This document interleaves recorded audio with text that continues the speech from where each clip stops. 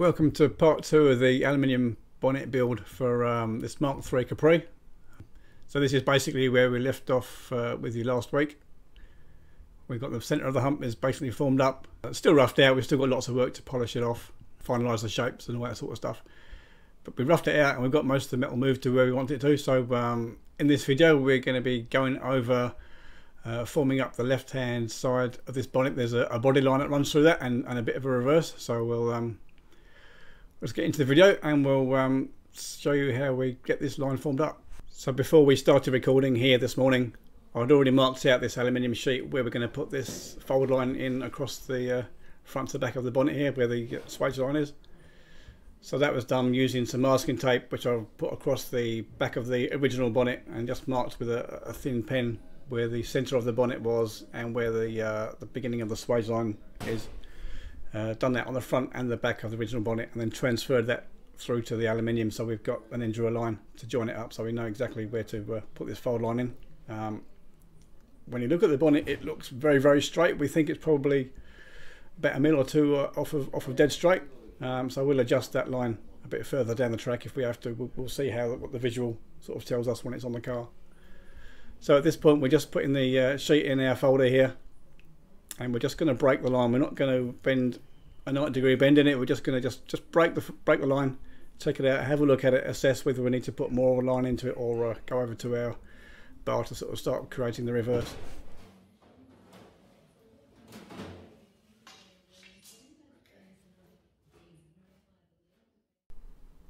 So we've just carried the sheet over to another area of the workshop. We've got a piece of solid bar fed through the Pullmax just to support the bar and uh, I don't know if you can see in the video we've got a piece of timber. It's a I think it's a bit of hand banister or, or handrail just taped it to that solid bar. It's got a really nice profile on it. It's sort of like elliptical which sort of suits what we're doing here quite well. So we just line up the uh, the body line that we just folded on the on the folder.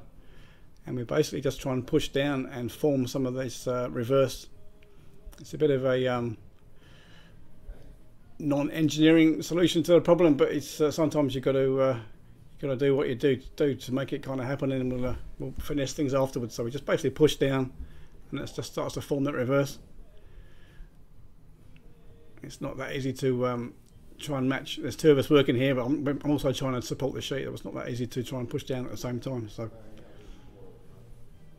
I think Peter wants to put a bit more pressure down at the front, so we swap ends and. Uh, I'll support the sheet while Peter's putting pushing the front of the uh, bonnet down to try and get the amount of bend so equal from front to back.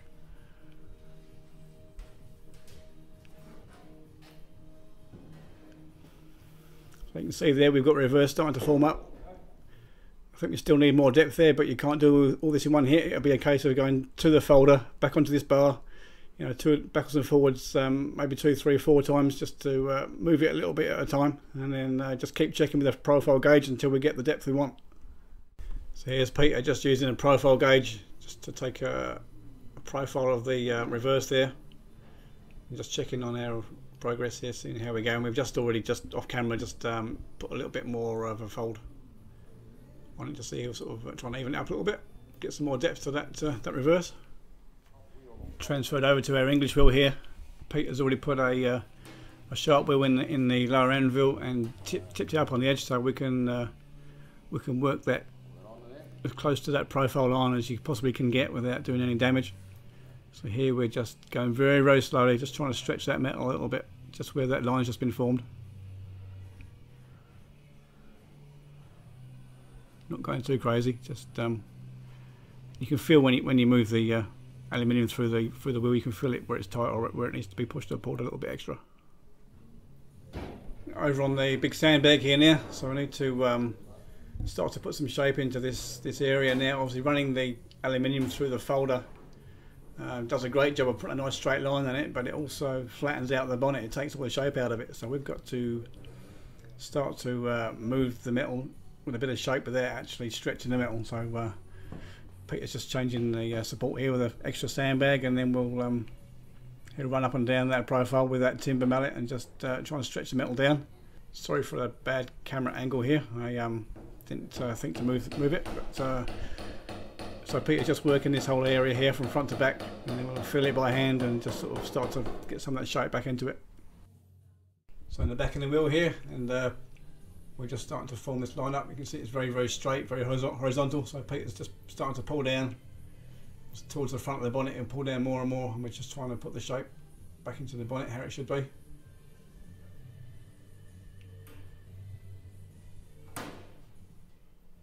Swap sides and uh, just trying to control this line and just get this area right.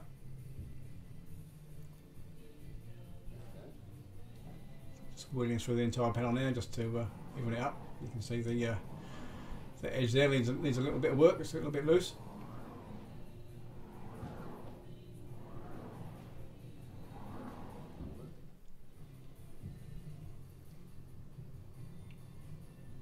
Still working that edge there. Just working the area near the swage line, just trying to get it up. Try and fill it, fill in the panel in the centre.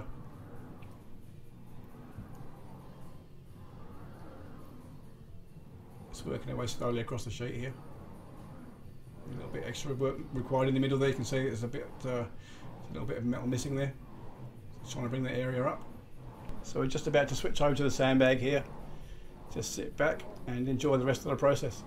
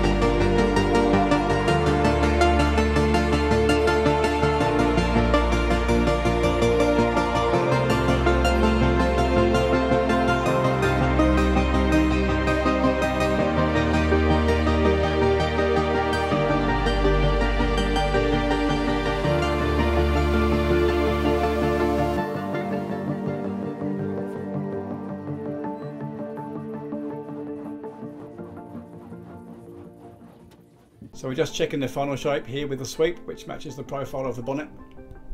So after this was done, I uh, marked out the edge of the bonnet and uh, we turned that edge down just by 45 degrees just to lock that in, ran it through the shrinker to shape that up. And that's as far as we're going to uh, go to uh, today. So this is um, end of the video. I hope you guys enjoyed it. Um, if you haven't done already, please like, please hit the uh, subscribe button and uh, we'll see you guys soon.